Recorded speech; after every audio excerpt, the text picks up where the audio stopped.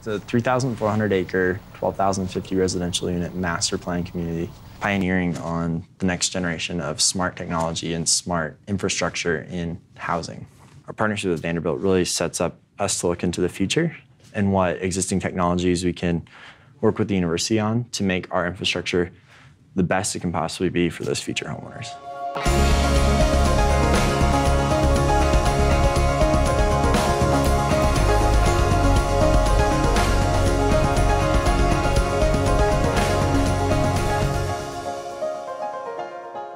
When I'm asked about this TIPS grant, what makes it unique, I think it's because it sets the platform.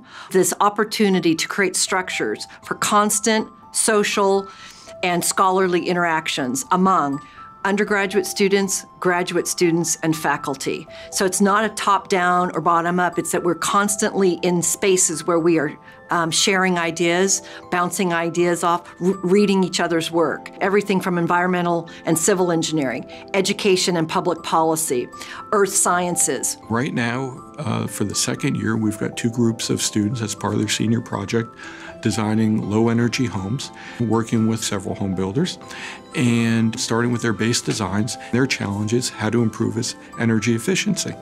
They come back with design improvements. They model the homes, they simulate them, look at ways that they can improve it, and they're feeding back to the home designers.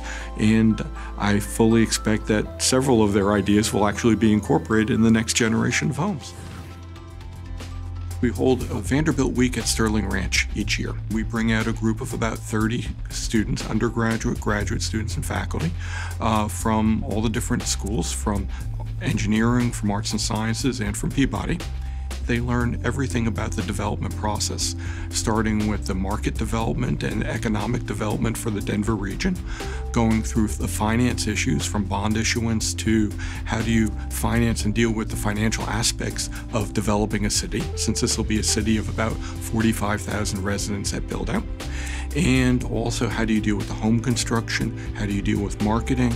How do you deal with the infrastructure educational systems. How do all these pieces come together? So over the course of that week, the students hear from the leading experts, get to visit their facilities, get to tour the Sterling Ranch, and understand how all these pieces come together, which in the end is a multi-billion dollar project. The project's a lot of fun.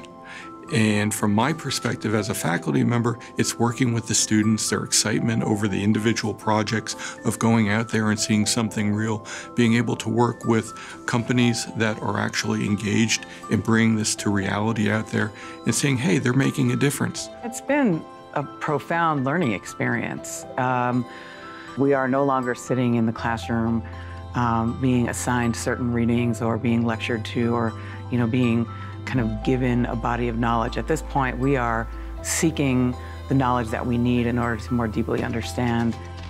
Um, the, the partnership quality of this project has just been phenomenal. So being able to work with uh, acclaimed professors in their fields, being able to connect with undergraduate students, and all being part of this same project has been a real community of learners. I think most universities are pretty siloed. You know, people are pretty much in their little niches. And so this project is, um, I think, pretty unusual and been remarkable.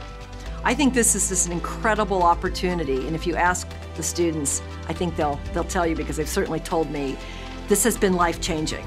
This has changed the way in which they think about their classes and coursework moving forward, the way in which they think about their future, and the way in which they want to make a difference.